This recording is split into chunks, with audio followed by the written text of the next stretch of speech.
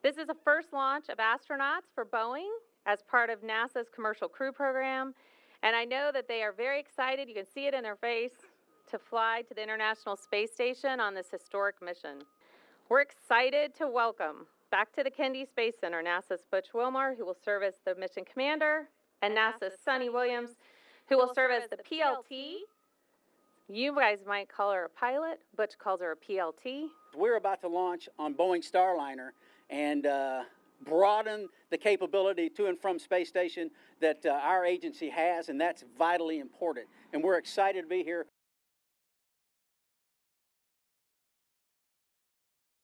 this spacecraft is awesome, right? And uh, I worked with the, our other friends for a little while too, and uh, that spacecraft is also awesome.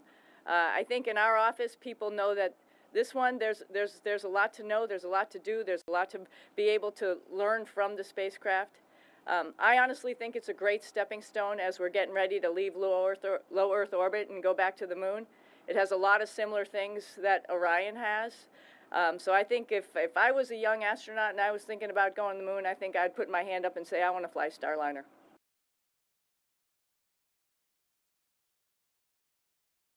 Do we expect it to go perfectly? This is the first human flight of the spacecraft. I'm sure we'll find things out. We're, that's why we do this. This is a test flight. So when you do test, you expect to find things, and we expect to find things.